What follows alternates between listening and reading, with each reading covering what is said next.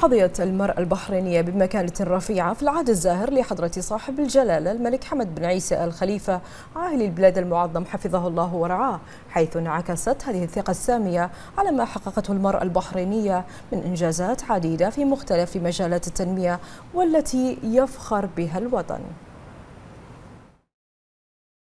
المتبحر في مسيرة المرأة البحرينية سيجد دعم حضرة صاحب الجلالة ملك البلاد المعظم للمرأة منذ بداية عهده الزاهر فشكل قاعدة وأساسا لتقدم المرأة البحرينية وتميزها في شتى المجالات فهو من كان حفظه الله الأب والأخ والمعلم الملهم الذي تستمد منه المرأة البحرينية القوة والحكمة. الدعم والمؤازرة والثقة الكبيرة التي تحظى بها المرأة البحرينية من قبل عاهل البلاد المعظم أسهم في تعظيم الفرص المتاحة أمامها وتفعيل دورها في ظل ما تتحلى به من مقدرات علمية وعملية وبصورة رفعت من مستوى مشاركتها في مسيرة الازدهار الوطني وزيادة مساهمتها في تبوء مملكة البحرين مكانة متقدمة على ساحات العمل الإقليمي والدولي.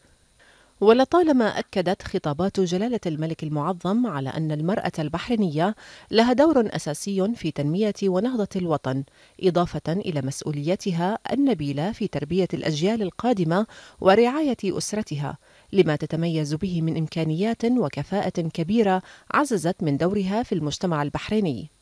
إنجازات بارزة في جميع المجالات وعلى مختلف المستويات حققتها المرأة البحرينية والتي أسهمت في نهضة وطنها وتنشئة وتربية أجيال متعاقبة لتصل البحرين إلى ما هي عليه اليوم من تقدم وازدهار ولتبقى المرأة شريكا أصيلا في بناء الدولة البحرينية وحماية نسيجها الوطني.